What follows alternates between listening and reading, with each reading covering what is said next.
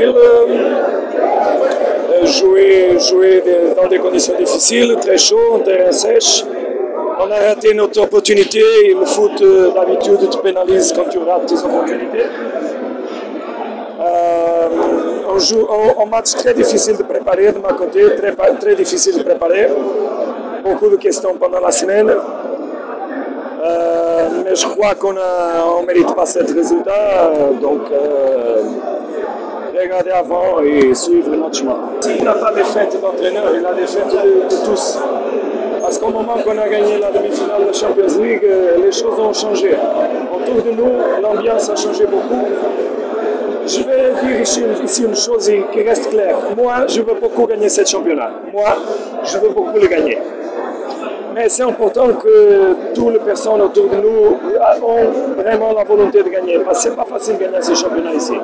Moi, personnellement, et pour les joueurs et pour les clubs, je veux gagner ce championnat. Mais c'est important que toutes les personnes veulent gagner. Parce qu'on euh, ne doit pas penser, c'est comme ça que j'ai fait grandir dans le foot, à penser en match chaque fois. Et toujours, toujours le match que tu vas suivre et pas le match que tu vas jouer pendant deux semaines. Ça, c'est important de comprendre parce que ça, c'est le respect qu'on doit avoir pour nous-mêmes. Bien sûr que si tu as les meilleurs, tu es plus fort. Mais c'est aussi le moment de jouer que je ne pas trop euh, te dire présent. Ce n'est pas une question. Le match, on a fait des bonnes choses. On va voir les choses qu'on a fait qui ne sont pas du même niveau. Et bien sûr, il étudier après qu'on peut revoir dans la télé. Mais surtout, on ne doit pas perdre notre attitude qui nous a fait arriver où on a arrivé. Parce que perd cette attitude, on va passer mal. C'est ça que j'ai dit aux joueurs. Parce que quand tu gagnes, tout le monde est autour de toi. Mais quand tu perds, tu vas passer dans la rue et tu vas avoir honte.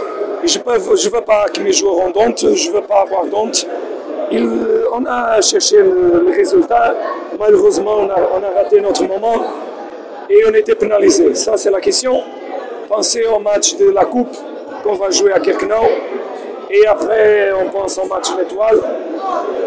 On est encore en première position. On doit garder et augmenter cette différence.